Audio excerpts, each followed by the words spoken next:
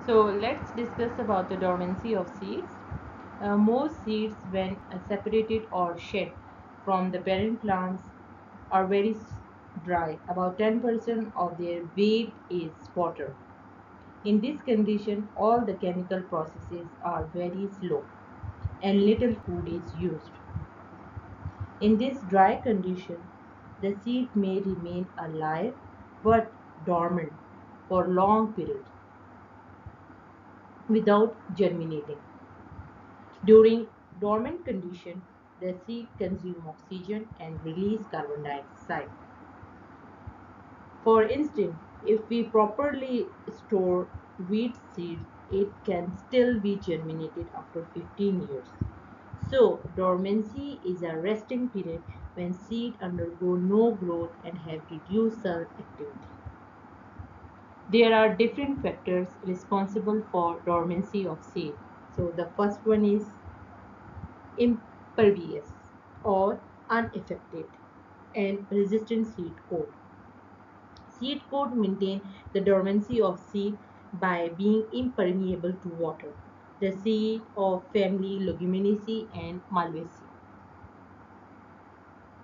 The second factor is seed cores impermeable to oxygen. Uh, for example, seeds of uh, xanthium and grass family. The third factor is offering uh, mechanical resistance to the embryo. This preventing its growth, for example, seed of amaranthus. Okay, the next factor is immature embryo. The seeds of certain orchids and uh, gymnosperm like uh, ginkgo have poorly developed embryo when they shed or separated from their parents. These seeds require a period of rest during which the development of embryo inside the seed is completed, which facilitate germination. Next factor is requirement of after ripening. In many cereals like wheat, barley, oat, the seeds contain a fully developed embryo, but the latter remains in a dormant state when harvested because it requires dry storage condition at normal temperature for few weeks to several months. We cannot uh, directly uh, sow it in the soil. Uh, the next factor is the presence of germination inhibitors. Sometimes the dormancy of seed is due to the presence of certain chemicals in the testa, endosperm, embryo, or in the pulp of fruit. These chemicals inhibit the germination of seed while it is still inside the fruit. Some of the natural, naturally occurring germination inhibitors are parasorbic acid, hibiscus acid, and acid. Low temperature is another factor.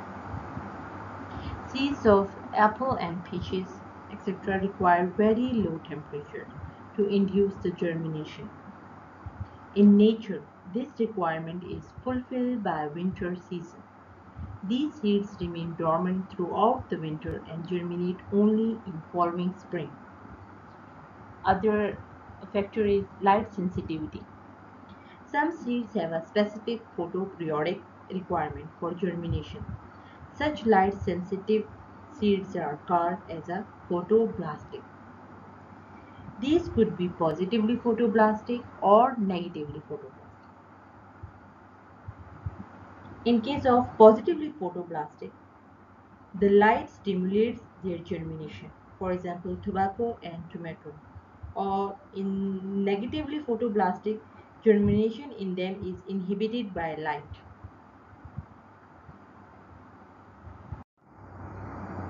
Secondary dormancy. Sometimes the seed fail to germinate due to lack of some specific factor.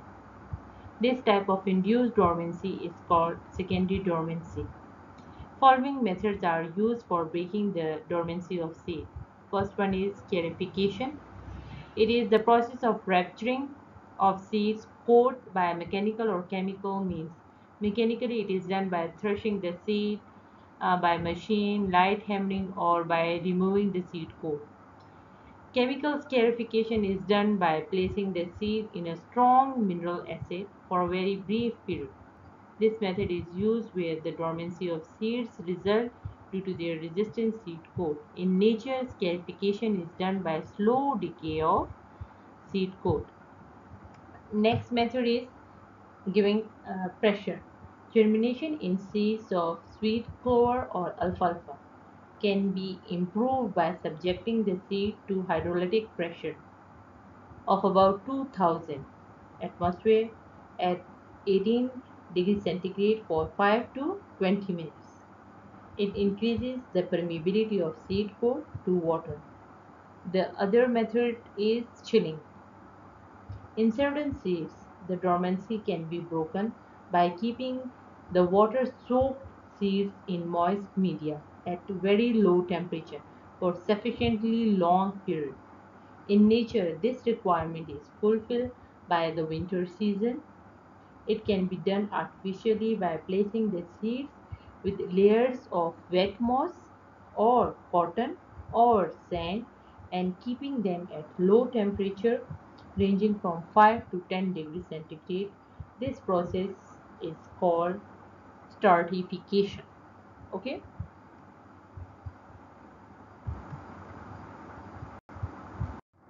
Okay, next method is alternating temperature.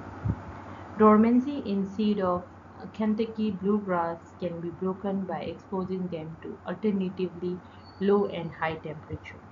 The difference between the two extremes should not exceed 20 degrees. Next method is light. The dormancy of positively photoblastic seeds can be broken by exposing them specifically to red light. This effect neutralized by exposure to far red light. Such a promotion of germination by red light and inhibition by far red light can be explained on the basis of phytochrome. What is phytochrome? It is a proteinaceous pigment known to occur in two forms. PR, the red absorbing phytochrome has a light absorption peak at the wavelength of 660 nanometer and the far red absorbing phytochrome has a light absorption peak at the wavelength of 730 nanometer. Next, a method is germination stimulating compounds. Kinetin and gibberellin can induce germination of certain positively photoblastic seeds. For example, tobacco, tomato, etc. Even in the dark. Beside them, potassium nitrate and ethylene are also reported to stimulate germination in certain seeds. So let's discuss about the advantages of seed dormancy. Plant avoids harsh winter condition, gives the embryo time to develop. Dormancy of seeds in many cereals prevent their germination immediately after harvest as discussed earlier. Some seeds need a period of cold and before they germinate. So what is germination? It is actually the regrowth of embryo after a period of dormancy if the environmental conditions are suitable. So below given picture show the germination process. A seed with a tiny embryo inside remain in the ground until conditions are right for seed to germinate. The seed coat mean testa first fracture. Now the embryo can get water and the embryonic root mean radicle grows into the ground to extract key nutrients and minerals. The cotyledon emerges as shown in the picture and produces the growing shoot first leaves. The growing plant can be divided into epicotyl embryonic shoot, hypocotyl embryonic stem and developing roots. Factors are needed for germination even when the seed is fully mature. Germination will take place only under certain specific conditions. The most important of these are water, soil, temperature, oxygen, and light. Water. It softens the seed coat and causes the cotyledon and endosperm to swell. The reserve food material stored in the cotyledon or endosperm is actually insoluble form. Water activated protoplasm secretes enzyme which make digestion of this food possible. Water also helps in the transport of digested food from the cotyledon or endosperm to the growing points of the embryo. Soil provides moisture and humidity. Oxygen needed for aerobic respiration that creates energy for germination process. Suitable temperature allows maximum enzyme activity. Light. In some cases, light has inhibiting influence on germination, while some plants are favored by light and some seeds remain indifferent. The action of light varies. Some are epiphyte. Tobacco and tomato germinates only in the presence of light, then in dark. The seeds of maize and bean remain indifferent to light.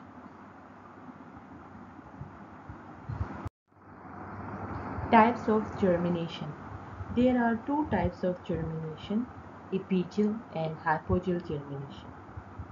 Epigeal germination, epi means above and geal means earth. In this case, the hypocotyl elongates and form a hook pulling the cotyledon above the ground. Epigeal germination seen in many dicot seeds such as bean, castor, sunflower, cucumber, etc. Regarding hypogeal germination, hypo means below and geal being earth. In this type of germination, seed or cotyledon remain inside the soil or below the soil. In this type, cotyledon will stay underground where they eventually decompose. Example includes green pea, gram, maize, coconut, etc. The other type of germination is viviparous germination.